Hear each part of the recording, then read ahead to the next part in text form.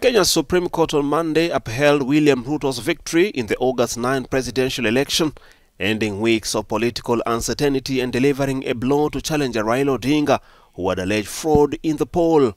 Ruto had served as deputy president under Kenyatta since 2013, supporting him in two elections with the promise that he would have the backing of his boss in this year's vote.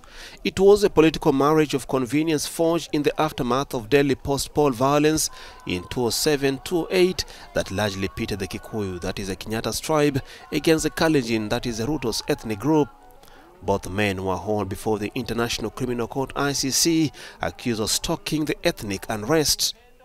The cases were eventually dropped with the prosecution complaining of relentless campaign of witness intimidation. But Ruto was left out in the cold after Kenyatta shook hands with the long-term foe, Odinga, in a dramatic switch of political allegiance in 2018.